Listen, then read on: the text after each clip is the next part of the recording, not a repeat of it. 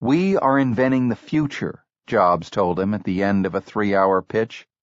Think about surfing on the front edge of a wave. It's really exhilarating. Now think about dog paddling at the tail end of that wave. It wouldn't be anywhere near as much fun. Come down here and make a dent in the universe. Atkinson did. With his shaggy hair and droopy mustache that did not hide the animation in his face, Atkinson had some of Woz's ingenuity along with Jobs's passion for awesome products. His first job was to develop a program to track a stock portfolio by auto-dialing the Dow Jones service, getting quotes, then hanging up. I had to create it fast because there was a magazine ad for the Apple II showing a hubby at the kitchen table looking at an Apple screen filled with graphs of stock prices, and his wife is beaming at him. But there wasn't such a program, so I had to create one. Next, he created for the Apple II a version of Pascal, a high-level programming language. Jobs had resisted, thinking that BASIC was all the Apple II needed, but he told Atkinson, since you're so passionate about it, I'll give you six days to prove me wrong. He did, and Jobs respected him ever after. By the fall of 1979, Apple was breeding three ponies to be potential successors to the Apple II workhorse. There was the ill-fated Apple III, there was the Lisa project, which was beginning to disappoint Jobs, and somewhere off Jobs's radar screen, at least for the moment, there was a small skunkworks project for a low-cost machine that was being developed by a colorful employee named Jeff Raskin, a former professor who had taught Bill Atkinson. Raskin's goal was to make an inexpensive computer for the masses that would be like an appliance, a self-contained unit with computer, keyboard, monitor, and software all together, and have a graphical interface. He tried to turn his colleagues at Apple onto a cutting-edge research center right in Palo Alto that was pioneering such ideas. Xerox PARC The Xerox Corporation's Palo Alto Research Center, known as Xerox PARC, had been established in 1970 to create a spawning ground for digital ideas. It was safely located, for better and for worse, 3,000 miles from the commercial pressures of Xerox corporate headquarters in Connecticut. Among its visionaries was the scientist Alan Kay, who had two great maxims that Jobs embraced. The best way to predict the future is to invent it. And people who are serious about software should make their own hardware. Kay pushed the vision of a small personal computer, dubbed the Dynabook, that would be easy enough for children to use. So Xerox PARC's engineers began to develop user-friendly graphics that could replace all of the command lines and DOS prompts that made computer screens intimidating. The metaphor they came up with was that of a desktop. The screen could have many documents and folders on it, and you could use a mouse to point and click on the one you wanted to use. This graphical user interface, or GUI, pronounced GUI, was facilitated by another concept pioneered at Xerox PARC, bitmapping. Until then, most computers were character-based. You would type a character on a keyboard, and the computer would generate that character on the screen, usually in glowing greenish phosphor against a dark background. Since there were a limited number of letters, numerals, and symbols, it didn't take a whole lot of computer code or processing power to accomplish this. In a bitmap system, on the other hand, each and every pixel on the screen is controlled by bits in the computer's memory. To render something on the screen, such as a letter, the computer has to tell each pixel to be light or dark, or in the case of color displays, what color to be. This uses a lot of computing power, but it permits gorgeous graphics, fonts, and gee-whiz screen displays. Bitmapping and graphical interfaces became features of Xerox PARC's prototype computers, such as the Alto, and its object-oriented programming language, Smalltalk. Jeff Raskin decided that these features were the future of computing, so he began urging Jobs and other Apple colleagues to go check out Xerox PARC. Raskin had one problem. Jobs regarded him as an insufferable theorist, or to use Jobs' own more precise terminology, a shithead who sucks. So Raskin enlisted his friend Atkinson, who fell on the other side of Jobs' shithead slash genius division of the world, to convince Jobs to take an interest in what was happening at Xerox PARC. What Raskin didn't know was that Jobs was working on a more complex deal. Xerox's venture capital division wanted to be part of the second round of Apple financing during the summer of 1979. Jobs made an offer. I will let you invest a million dollars in Apple if you will open the kimono at PARC. Xerox accepted. It agreed to show Apple its new technology and in return got to buy 100,000 shares at about $10 each. By the time Apple went public a year later, Xerox's $1 million worth of shares were worth $17.6 million. But Apple got the better end of the bargain. Jobs and his colleagues went to see Xerox PARC's technology in December 1979, and when Jobs realized he hadn't been shown enough, got an even fuller demonstration a few days later.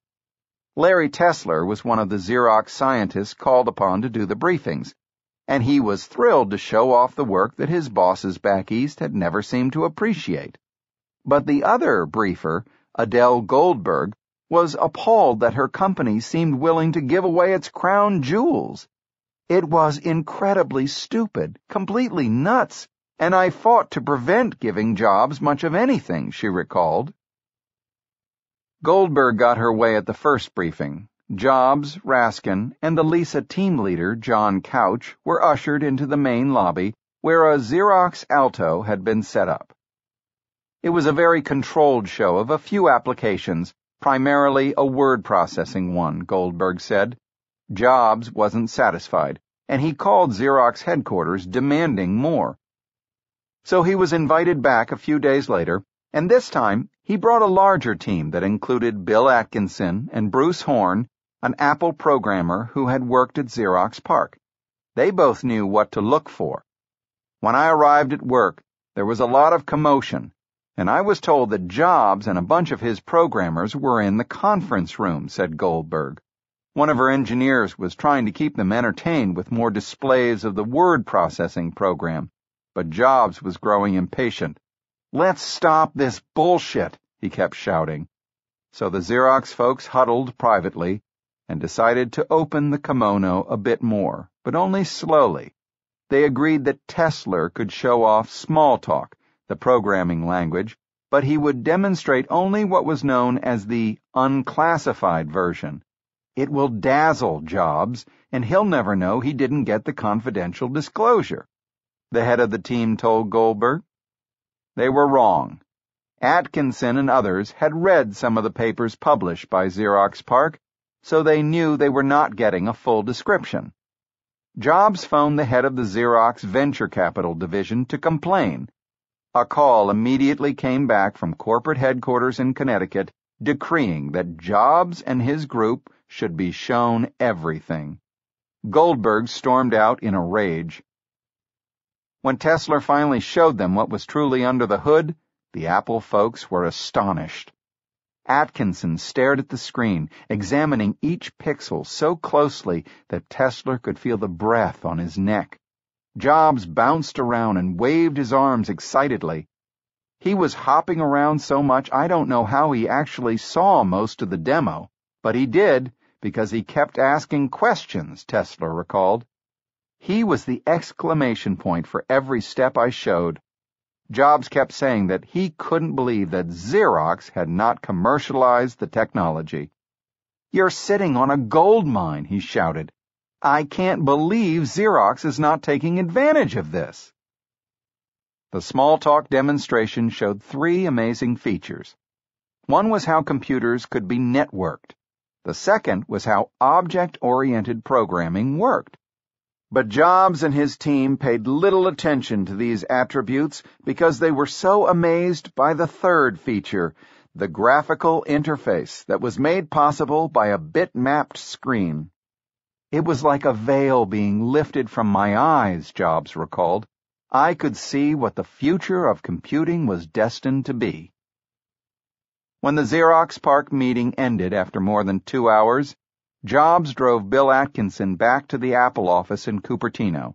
He was speeding, and so were his mind and mouth. This is it, he shouted, emphasizing each word. We've got to do it. It was the breakthrough he had been looking for, bringing computers to the people with the cheerful but affordable design of an Eichler home and the ease of use of a sleek kitchen appliance. How long would this take to implement? he asked. I'm not sure, Atkinson replied. Maybe six months? It was a wildly optimistic assessment, but also a motivating one. Great artists steal. The Apple raid on Xerox PARC is sometimes described as one of the biggest heists in the chronicles of industry. Jobs occasionally endorsed this view with pride. As he once said, Picasso had a saying, good artists copy, great artists steal, and we have always been shameless about stealing great ideas. Another assessment, also sometimes endorsed by Jobs, is that what transpired was less a heist by Apple than a fumble by Xerox. They were copier heads who had no clue about what a computer could do, he said of Xerox's management. They just grabbed defeat from the greatest victory in the computer industry. Xerox could have owned the entire computer industry. Both assessments contain a lot of truth, but there is more to it than that. There falls a shadow, as T.S. Eliot noted, between the conception and the creation. In the annals of innovation, new ideas are only part of the equation. Execution is just as important. Jobs and his engineers significantly improved the graphical interface ideas they saw at Xerox PARC, and then were able to implement them in ways that Xerox never could accomplish. For example, the Xerox mouse had three buttons, was complicated, cost $300 apiece, and didn't roll around smoothly.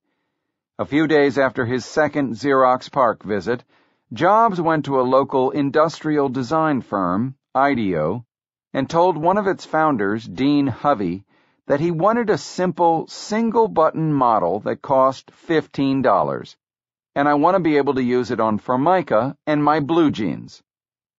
Hovey complied. The improvements were not in just the details, but the entire concept. The mouse at Xerox PARC could not be used to drag a window around the screen. Apple's engineers devised an interface so you could not only drag windows and files around, you could even drop them into folders. The Xerox system required you to select a command in order to do anything, ranging from resizing a window to changing the extension that located a file. The Apple system transformed the desktop metaphor into virtual reality by allowing you to directly touch, manipulate, drag, and relocate things. And Apple's engineers worked in tandem with its designers, with Jobs spurring them on daily, to improve the desktop concept by adding delightful icons and menus that pulled down from a bar atop each window and the capability to open files and folders with a double click.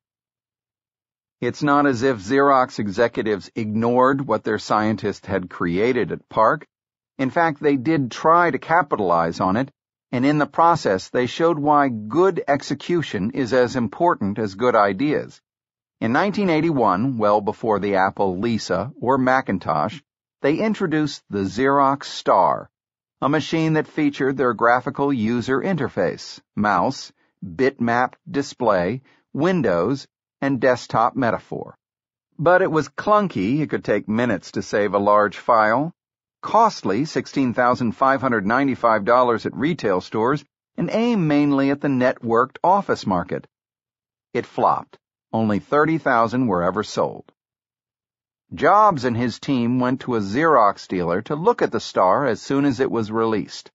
But he deemed it so worthless that he told his colleagues they couldn't spend the money to buy one. We were very relieved, he recalled. We knew they hadn't done it right, and that we could at a fraction of the price. A few weeks later, he called Bob Belleville, one of the hardware designers on the Xerox Star team. Everything you've ever done in your life is shit, Jobs said.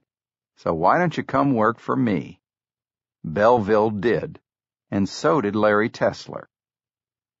In his excitement, Jobs began to take over the daily management of the Lisa project, which was being run by John Couch, the former HP engineer. Ignoring Couch, he dealt directly with Atkinson and Tesler to insert his own ideas, especially on Lisa's graphical interface design. He would call me at all hours, 2 a.m. or 5 a.m., said Tesler. I loved it, but it upset my bosses at the Lisa division. Jobs was told to stop making out-of-channel calls. He held himself back for a while, but not for long. One important showdown occurred when Atkinson decided that the screen should have a white background rather than a dark one. This would allow an attribute that both Atkinson and Jobs wanted. W-Y-S-I-W-Y-G, pronounced WYSIWYG, an acronym for What You See is What You Get. What you saw on the screen was what you'd get when you printed it out. The hardware team screamed bloody murder, Atkinson recalled. They said it would force us to use a phosphor that was a lot less persistent and would flicker more so Atkinson enlisted Jobs, who came down on his side. The hardware folks grumbled, but then went off and figured it out. Steve wasn't much of an engineer himself, but he was very good at assessing people's answers. He could tell whether the engineers were defensive or unsure of themselves. One of Atkinson's amazing feats, which we are so accustomed to nowadays that we rarely marvel at it, was to allow the windows on a screen to overlap so that the top one clipped into the ones below it. Atkinson made it possible to move these windows around, just like shuffling papers on a desk, with those below becoming visible or hidden as you move the top ones. Of course, on a computer screen, there are no layers of pixels underneath the pixels that you see so there are no windows actually lurking underneath the ones that appear to be on top. To create the illusion of overlapping windows requires complex coding that involves what are called regions. Atkinson pushed himself to make this trick work because he thought he had seen this capability during his visit to Xerox PARC. In fact, the folks at PARC had never accomplished it, and they later told him they were amazed that he had done so. I got a feeling for the empowering aspect of naivete, Atkinson said. Because I didn't know it couldn't be done, I was enabled to do it. He was working so hard that one morning in a daze, he drove his Corvette into a parked truck and nearly killed himself. Jobs immediately drove to the hospital to see him. We were pretty worried about you, he said when Atkinson regained consciousness. Atkinson gave him a pained smile and replied, Don't worry, I still remember regions.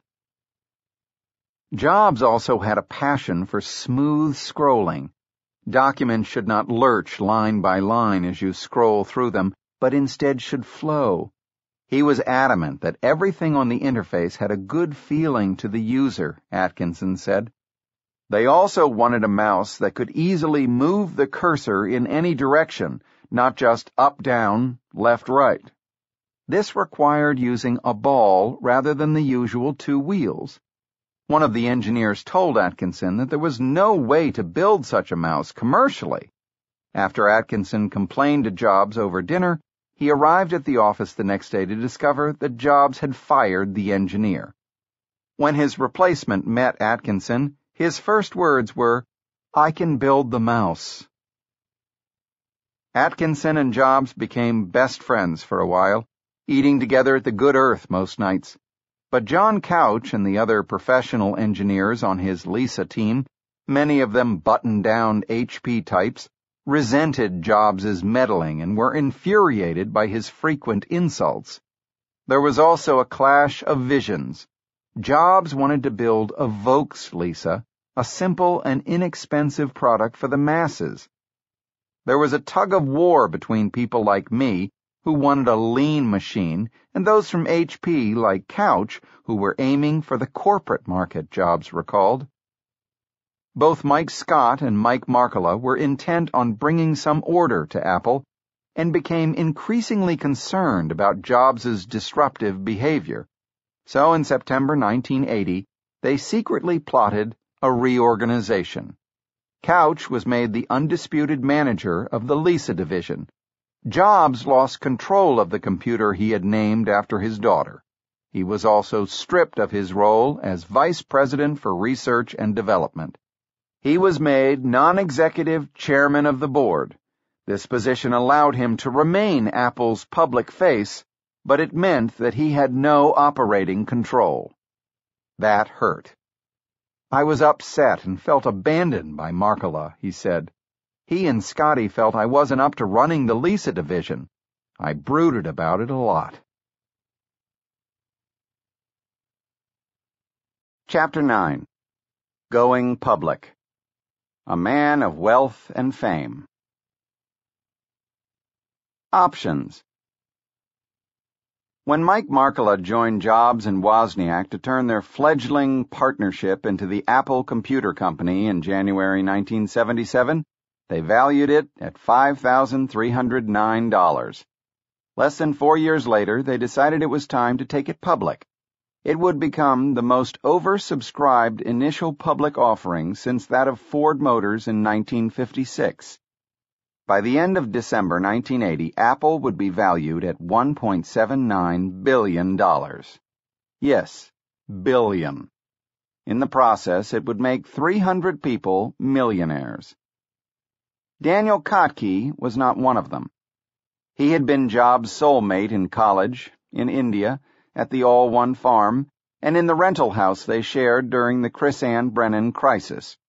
He joined Apple when it was headquartered in Jobs' garage, and he still worked there as an hourly employee, but he was not at a high enough level to be cut in on the stock options that were awarded before the IPO. I totally trusted Steve, and I assumed he would take care of me like I'd taken care of him, so I didn't push, said Kottke.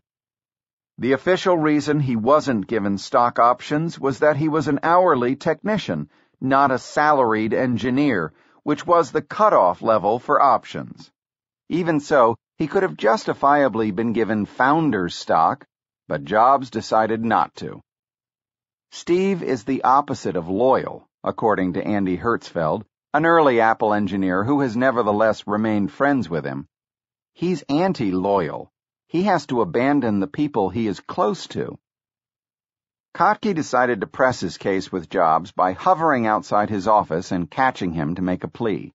But at each encounter, Jobs brushed him off. What was really so difficult for me is that Steve never told me I wasn't eligible, recalled Kottke. He owed me that as a friend. When I would ask him about stock, he would tell me I had to talk to my manager. Finally, almost six months after the IPO, Kottke worked up the courage to march into Jobs' office and try to hash out the issue. But when he got in to see him, Jobs was so cold that Kottke froze. I just got choked up and began to cry and just couldn't talk to him, Kottke recalled. Our friendship was all gone. It was so sad. Rod Holt, the engineer who had built the power supply, was getting a lot of options, and he tried to turn Jobs around. We have to do something for your buddy Daniel, he said, and he suggested they each give him some of their own options. Whatever you give him, I will match it, said Holt. Replied Jobs, Okay, I will give him zero. Wozniak, not surprisingly, had the opposite attitude. Before the shares went public, he decided to sell at a very low price 2,000 of his options to 40 different mid-level employees. Most of his beneficiaries made enough to buy a home. Wozniak bought a dream home for himself and his new wife, but she soon divorced him and kept the house. He also later gave shares outright to employees he felt had been shortchanged, including Kottke, Fernandez, Wigginton, and Espinosa. Everyone loved Wozniak, all the more so after his generosity, but many also agreed with Jobs that he was awfully naive and childlike. A few months later, a United Way poster showing a destitute man went up on a company bulletin board. Someone scrawled on it, was in 1990. Jobs was not naive. He had made sure his deal with Chrisann Brennan was signed before the IPO occurred. Jobs was the public face of the IPO, and he helped choose the two investment banks handling it, the traditional Wall Street firm Morgan Stanley and the untraditional boutique firm Hambrecht and Quist in San Francisco. Steve was very irreverent toward the guys from Morgan Stanley, which was a pretty uptight firm in those days, recalled Bill Hambrecht. Morgan Stanley planned to price the offering at $18, even though it was obvious the shares would quickly shoot up. Tell me what happens to this stock that we priced at 18. Jobs asked the bankers. Don't you sell it to your good customers? If so, how can you charge me a 7% commission? Hambrecht recognized that there was a basic unfairness in the system, and he later went on to formulate the idea of a reverse auction to price shares before an IPO. Apple went public the morning of December 12, 1980. By then, the bankers had priced the stock at $22 a share. It went to $29 the first day. Jobs had come into the Hambrecht and Quist office just in time to watch the opening trades. At age 25, he was now worth $256 million. Baby, you're a rich man. Before and after he was rich, and indeed throughout a life that included being both broke and a billionaire, Steve Jobs' attitude toward wealth was complex. He was an anti-materialistic hippie who capitalized on the inventions of a friend who wanted to give them away for free, and he was a Zen devotee who made a pilgrimage to India and then decided that his calling was to create a business. And yet somehow these attitudes seemed to weave together rather than conflict. He had a great love for some material objects, especially those that were finely designed and crafted, such as Porsche and Mercedes cars, Henckels knives and Braun appliances, BMW motorcycles, and Ansel Adams prints, Bosendorfer pianos, and Bang & Olufsen audio equipment. Yet the houses he lived in, no matter how rich he became, tended not to be ostentatious, and were furnished so simply they would have put a shaker to shame. Neither then nor later would he travel with an entourage, keep a personal staff, or even have security protection. He bought a nice car, but always drove himself. When Markkula asked Jobs to join him in buying a Learjet, he declined, though he eventually would demand of Apple a Gulfstream to use.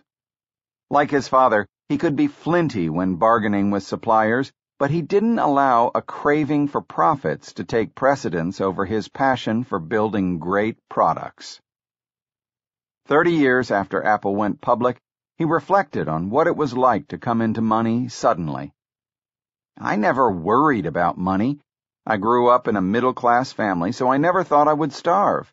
And I learned at Atari that I could be an okay engineer, so I always knew I could get by.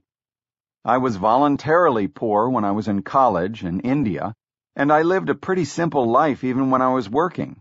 So I went from fairly poor, which was wonderful because I didn't have to worry about money, to being incredibly rich when I also didn't have to worry about money. I watched people at Apple who made a lot of money and felt they had to live differently. Some of them bought a Rolls Royce and various houses, each with a house manager and then someone to manage the house managers. Their wives got plastic surgery and turned into these bizarre people. That was not how I wanted to live. It's crazy. I made a promise to myself that I'm not going to let this money ruin my life. He was not particularly philanthropic. He briefly set up a foundation, but he discovered that it was annoying to have to deal with the person he had hired to run it, who kept talking about venture philanthropy and how to leverage giving. Jobs became contemptuous of people who made a display of philanthropy or thinking they could reinvent it. Earlier, he had quietly sent in a $5,000 check to help launch Larry Brilliant's Seva Foundation to fight diseases of poverty, and he even agreed to join the board.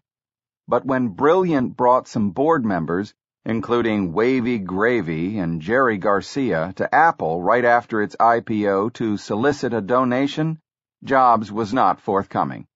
He instead worked on finding ways that a donated Apple II and a VisiCalc program could make it easier for the foundation to do a survey it was planning on blindness in Nepal. His biggest personal gift was to his parents, Paul and Clara Jobs, to whom he gave about $750,000 worth of stock. They sold some to pay off the mortgage on their Los Altos home, and their son came over for the little celebration. It was the first time in their lives they didn't have a mortgage, Jobs recalled. They had a handful of their friends over for the party, and it was really nice. Still, they didn't consider buying a nicer house. They weren't interested in that, Jobs said. They had a life they were happy with. Their only splurge was to take a princess cruise each year.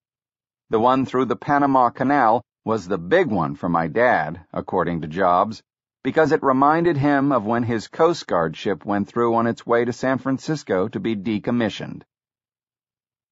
With Apple's success came fame to its poster boy. Inc. became the first magazine to put him on its cover in October 1981. This man has changed business forever, it proclaimed. It showed Jobs with a neatly trimmed beard and well-styled long hair, wearing blue jeans and a dress shirt with a blazer that was a little too satiny. He was leaning on an Apple II and looking directly into the camera with the mesmerizing stare he had picked up from Robert Friedland. When Steve Jobs speaks, it is with the gee-whiz enthusiasm of someone who sees the future and is making sure it works, the magazine reported. Time followed in February 1982 with a package on young entrepreneurs. The cover was a painting of Jobs again with his hypnotic stare. Jobs, said the main story, practically single-handed created the personal computer industry. The accompanying profile, written by Michael Moritz, noted, At 26, Jobs heads a company that six years ago was located in a bedroom and garage of his parents' house, but this year is expected to have sales of $600 million. As an executive, Jobs has sometimes been petulant and harsh on subordinates. Admits he, I've got to learn to keep my feelings private. Despite his new fame and fortune, he still fancied himself a child of the counterculture. On a visit to a Stanford class, he took off his Wilkes Bashford blazer and his shoes, perched on top of a table, and crossed his legs into a lotus position. The students asked questions, such as when Apple's stock price would rise, which Jobs brushed off. Instead, he spoke of his passion for future products, such as someday making a computer as small as a book. When the business questions tapered off, Jobs turned the tables on the well-groomed students. How many of you are virgins? he asked. There were nervous giggles. How many of you have taken LSD? More nervous laughter, and only one or two hands went up. Later, Jobs would complain about the new generation of kids who seemed to him more materialistic and careerist than his own. When I went to school, it was right after the 60s, and before this general wave of practical purposefulness had set in, he said. Now students aren't even thinking in idealistic terms, or at least nowhere near as much. His generation, he said, was different. The idealistic wind of the 60s is still at our backs, though, and most of the people I know who are my age have that ingrained in them forever. Chapter 10 The Mac is Born. You say you want a revolution? Jeff Raskin's Baby. Jeff Raskin was the type of character who could enthrall Steve Jobs or annoy him. As it turned out, he did both. A philosophical guy who could be both playful and ponderous, Raskin had studied computer science, taught music and visual arts, conducted a chamber opera company, and organized guerrilla theater. His 1967 doctoral thesis at UC San Diego argued that computers should have graphical rather than text-based interfaces. When he got fed up with teaching, he rented a hot air balloon, flew over the chancellor's house, and shouted down his decision to quit.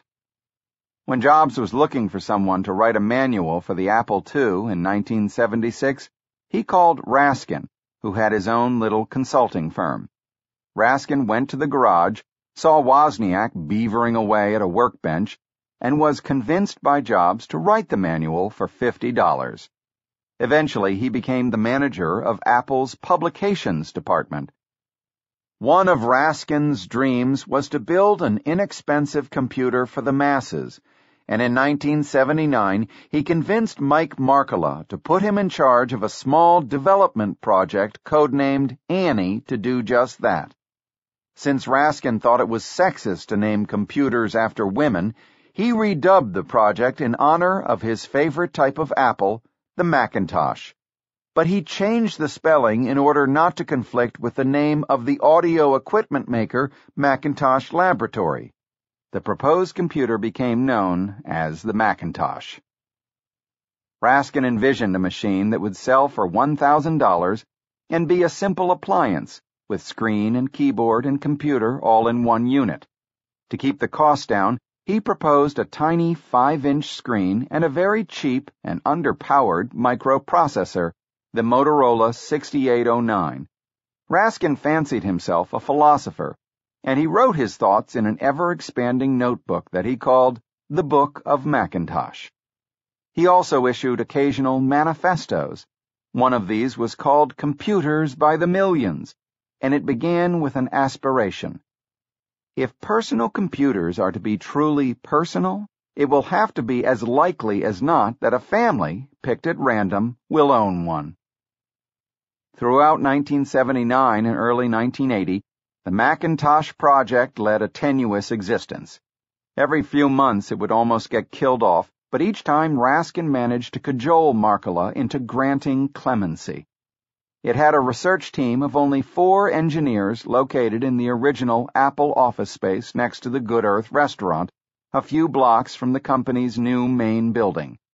The workspace was filled with enough toys and radio-controlled model airplanes, Raskin's passion, to make it look like a daycare center for geeks.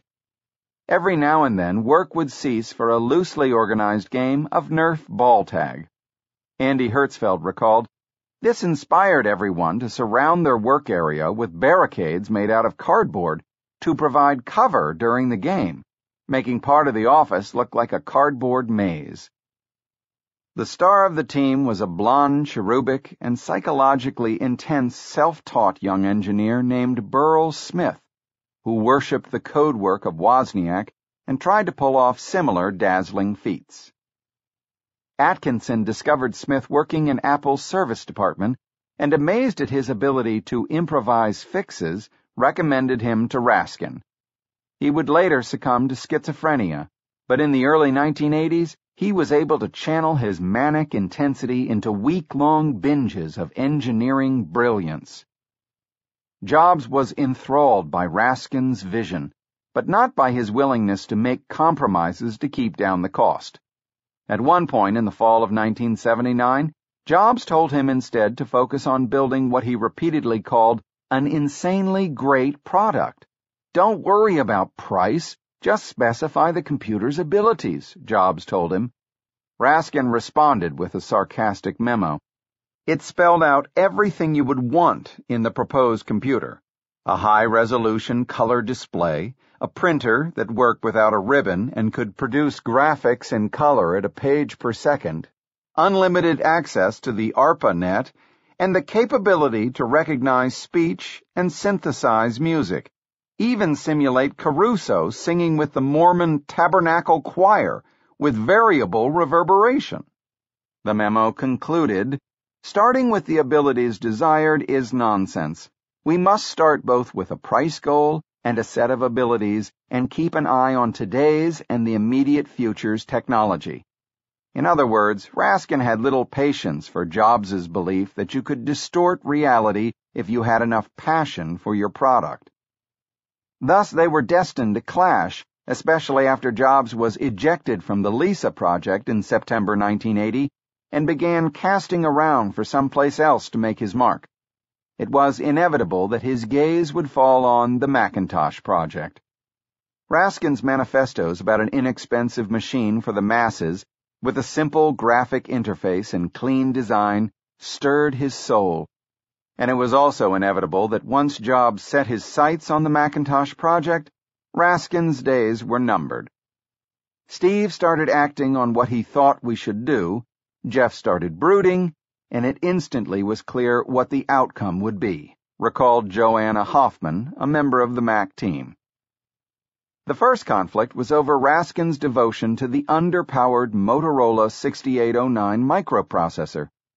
Once again, it was a clash between Raskin's desire to keep the Mac's price under $1,000 and Jobs' determination to build an insanely great machine. So Jobs began pushing for the Mac to switch to the more powerful Motorola 68000, which is what the Lisa was using. Just before Christmas 1980, he challenged Burrell Smith, without telling Raskin, to make a redesigned prototype that used the more powerful chip. As his hero Wozniak would have done, Smith threw himself into the task around the clock, working nonstop for three weeks and employing all sorts of breathtaking programming leaps. When he succeeded, Jobs was able to force the switch to the Motorola 68000, and Raskin had to brood and recalculate the cost of the Mac. There was something larger at stake. The cheaper microprocessor that Raskin wanted would not have been able to accommodate all of the gee whiz graphics, windows, menus, mouse, and so on that the team had seen on the Xerox PARC visits. Raskin had convinced everyone to go to Xerox PARC, and he liked the idea of a bitmap display and windows, but he was not as charmed by all the cute graphics and icons, and he absolutely detested the idea of using a point-and-click mouse rather than the keyboard. Some of the people on the project became enamored of the quest to do everything with the mouse, he later groused. Another example is the absurd application of icons. An icon is a symbol equally incomprehensible in all human languages. There's a reason why humans invented phonetic languages. Raskin's former student, Bill Atkinson, sided with Jobs. They both wanted a powerful processor that could support whizzier graphics and the use of a mouse. Steve had to take the project away from Jeff. Atkinson said. Jeff was pretty firm and stubborn, and Steve was right to take it over. The world got a better result. The disagreements were more than just philosophical. They became clashes of personality. I think that he likes people to jump when he says jump, Raskin once said. I felt that he was untrustworthy and that he does not take kindly to being found wanting. He doesn't seem to like people who see him without a halo. Jobs was equally dismissive of Raskin. Jeff was really pompous, he said. He didn't know much about interfaces, so I decided to nab some of his people who were really good, like Atkinson, bring in some of my own, take the thing over, and build a less expensive Lisa, not some piece of junk. Some on the team found Jobs impossible to work with. Jobs seems to introduce tension, politics, and hassles rather than enjoying a buffer from those distractions, one engineer wrote in a memo to Raskin in December 1980. I thoroughly enjoy talking with him, and I admire his ideas, practical perspective, and energy, but I just don't feel that he provides the trusting, supportive, relaxed environment that I need. But many others realized that despite his temperamental failings, Jobs had the charisma and corporate clout that would lead them to make a dent in the universe. Jobs told the staff that Raskin was just a dreamer, whereas he was a doer and would get the Mac done in a year. It was clear he wanted vindication for having been ousted from the Lisa Group, and he was energized by competition. He publicly bet John Couch $5,000 that the Mac would ship before the Lisa. We can make a computer that's cheaper and better than the Lisa and get it out first, he told the team. Jobs asserted his control of the group by canceling a brown bag lunch seminar that Raskin was scheduled to give to the whole company in February 1981. Raskin happened to go by the room anyway and discovered that there were a hundred people there waiting to hear him. Jobs had not bothered to notify anyone else about his cancellation order, so Raskin went ahead and gave a talk. That incident led Raskin to write a blistering memo to Mike Scott, who once again found himself in the difficult position of being a president trying to manage a company's temperamental co-founder and major stockholder. It was titled Working for slash with Steve Jobs, and in it, Raskin asserted, He is a dreadful manager. I have always liked Steve, but I have found it impossible to work for him. Jobs regularly misses appointments, this is so well known as to be almost a running joke. He acts without thinking and with bad judgment. He does not give credit where due. Very often, when told of a new idea, he will immediately attack it and say that it is worthless or even stupid and tell you that it was a waste of time to work on it. This alone is bad management. But if the idea is a good one, he will soon be telling people about it as though it was his own. That afternoon, Scott called in Jobs and Raskin for a showdown in front of Markkula. Jobs started crying. He and Raskin agreed on only one thing. Neither could work for the other one. On the Lisa project, Scott had sided with Couch. This time he decided it was best to let Jobs win. After all, the Mac was a minor development project housed in a distant building that could keep Jobs occupied away from the main campus.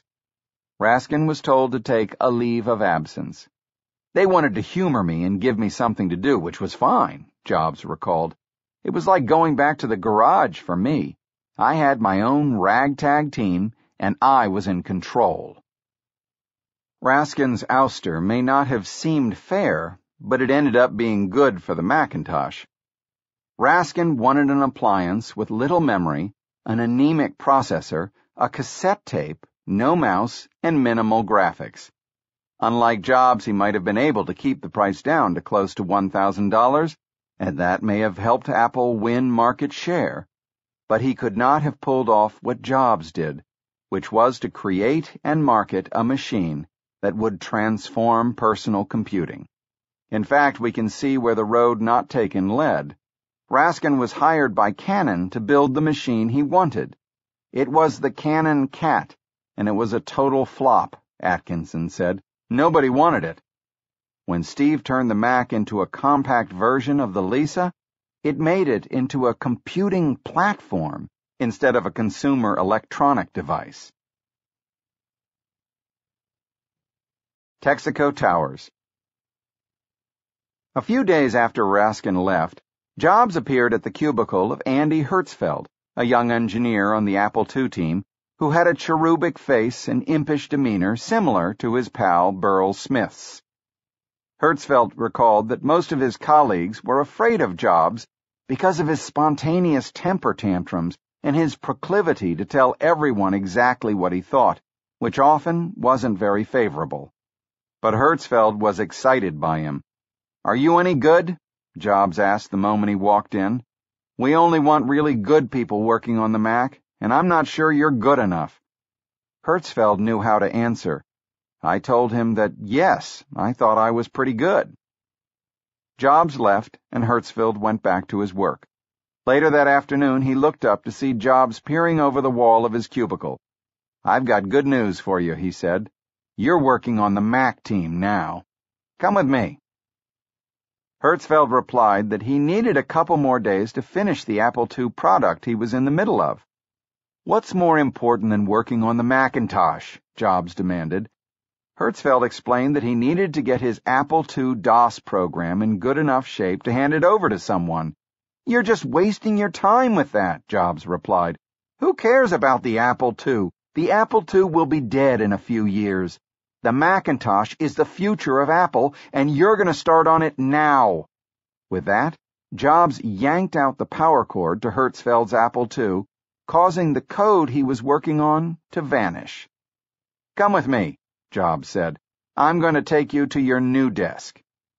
Jobs drove Hertzfeld, computer and all, in his silver Mercedes to the Macintosh offices. Here's your new desk, he said, plopping him in a space next to Burrell Smith. Welcome to the Mac team. The desk had been Raskin's. In fact, Raskin had left so hastily that some of the drawers were still filled with his flotsam and jetsam, including model airplanes. Jobs's primary test for recruiting people in the spring of 1981 to be part of his merry band of pirates was making sure they had a passion for the product. He would sometimes bring candidates into a room where a prototype of the Mac was covered by a cloth, dramatically unveil it, and watch. If their eyes lit up, if they went right for the mouse and started pointing and clicking, Steve would smile and hire them, recalled Andrea Cunningham. He wanted them to say, wow. Bruce Horn was one of the programmers at Xerox PARC. when some of his friends, such as Larry Tesler, decided to join the Macintosh group, Horn considered going there as well, but he got a good offer and a $15,000 signing bonus to join another company. Jobs called him on a Friday night. You have to come into Apple tomorrow morning, he said. I have a lot of stuff to show you. Horn did, and Jobs hooked him. Steve was so passionate about building this amazing device that would change the world, Horn recalled. By sheer force of his personality, he changed my mind. Jobs showed Horn exactly how the plastic would be molded and would fit together at perfect angles and how good the board was going to look inside. He wanted me to see that this whole thing was going to happen and it was thought out from end to end. Wow, I said, I don't see that kind of passion every day so I signed up. Jobs even tried to re-engage Wozniak. I resented the fact that he had not been doing much, but then I thought, hell, I wouldn't be here without his brilliance, Jobs later told me. But as soon as Jobs was starting to get him interested in the Mac, Wozniak crashed his new single-engine Beechcraft while attempting a takeoff near Santa Cruz. He barely survived and ended up with partial amnesia. Jobs spent time at the hospital, but when Wozniak recovered, he decided it was time to take a break from Apple. Ten years after dropping out of Berkeley, he decided to return there to finally get his degree, enrolling under the name of Rocky Raccoon Clark. In order to make the project his own, Jobs decided it should no longer be codenamed after Raskin's favorite apple. In various interviews, Jobs had been referring to computers as a bicycle for the mind. The ability of humans to create a bicycle allowed them to move more efficiently than even a condor, and likewise the ability to create computers would multiply the efficiency of their minds. So one day Jobs decreed that henceforth the Macintosh should be known instead as the bicycle. This did not go over well. Burrell and I thought this was the silliest thing we ever heard, and we simply refused to use the new name, recalled Hertzfeld. Within a month, the idea was dropped. By early 1981, the Mac team had grown to about 20, and Jobs decided that they should have bigger quarters. So he moved everyone to the second floor of a brown shingled two-story building about three blocks from Apple's main offices. It was next to a Texaco station and thus became known as Texaco Towers. In order to make the office more lively, he told the team to buy a stereo system. Burrell and I ran out and bought a silver cassette-based boombox right away, before he could change his mind, recalled Hertzfeld. Jobs's triumph was soon complete. A few weeks after winning his power struggle with Raskin to run the Mac division, he helped push out Mike Scott as Apple's president. Scotty had become more and more erratic, alternately bullying and nurturing. He finally lost most of his support among the employees when he surprised them by imposing a round of layoffs that he handled with atypical ruthlessness. In addition, he had begun to suffer a variety of afflictions, ranging from eye infections to narcolepsy. When Scott was on vacation in Hawaii, Markkula called together the top managers to ask if he should be replaced. Most of them, including Jobs and John Couch, said yes. So Markkula took over as an interim and rather passive president, and Jobs found that he now had full reign to do what he wanted with the Mac division. Chapter 11 The Reality Distortion Field Playing by His Own Set of Rules when Andy Hertzfeld joined the Macintosh team, he got a briefing from Bud Tribble, the other software designer, about the huge amount of work that still needed to be done. Jobs wanted it finished by January 1982, less than a year away. That's crazy, Hertzfeld said. There's no way. Tribble said that Jobs would not accept any contrary facts. The best way to describe the situation is a term from Star Trek, Tribble explained. Steve has a reality distortion field. When Hertzfeld looked puzzled, Tribble elaborated. In his presence, reality is malleable. He can convince anyone of practically anything. It wears off when he's not around, but it makes it hard to have realistic schedules. Tribble recalled that he adopted the phrase from the menagerie episodes of Star Trek in which the aliens create their own new world through sheer mental force. He meant the phrase to be a compliment as well as a caution. It was dangerous to get caught in Steve's distortion field, but it was what led him to actually be able to change reality. At first, Hertzfeld thought that Tribble was exaggerating, but after two weeks of working with Jobs, he became a keen observer of the phenomenon. The reality distortion field was a confounding melange of charismatic rhetorical style, indomitable will, and eagerness to bend any fact to fit the purpose at hand, he said. There was little that could shield you from the force, Hertzfeld discovered. Amazingly, the reality distortion field seemed to be effective even if you were acutely aware of it. We would often discuss potential techniques for grounding it, but after a while, most of us gave up, accepting it as a force of nature. After Jobs decreed that the sodas in the office refrigerator be replaced by Odwalla organic orange and carrot juices, someone on the team had t-shirts made. Reality distortion field, they said on the front, and on the back, it's in the juice. To some people, calling it a reality distortion field was just a clever way to say that Jobs tended to lie. But it was, in fact, a more complex form of dissembling.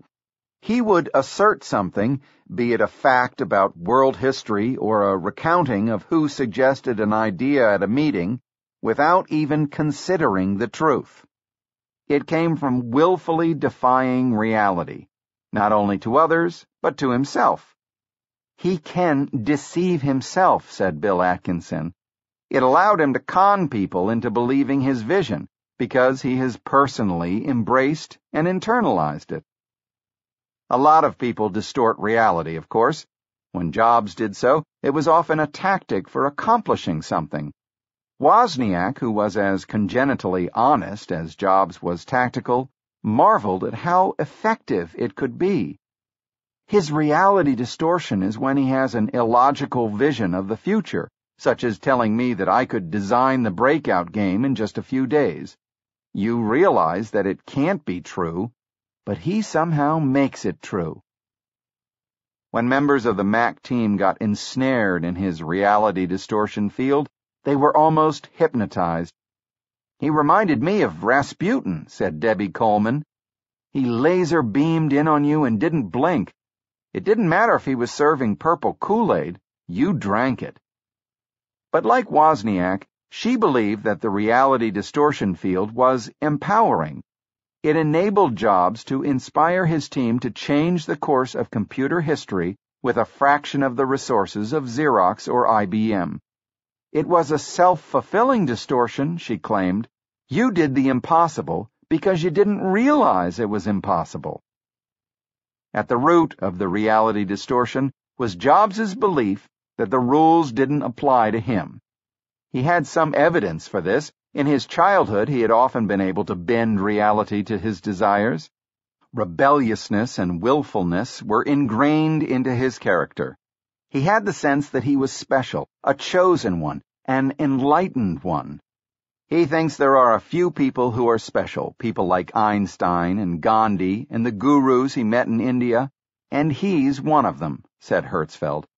He told Chrisann this. Once he even hinted to me that he was enlightened. It's almost like Nietzsche. Jobs never studied Nietzsche, but the philosopher's concept of the will to power and the special nature of the Uberman came naturally to him. As Nietzsche wrote in Thus Spoke Zarathustra, the spirit now wills his own will, and he who had been lost to the world now conquers the world.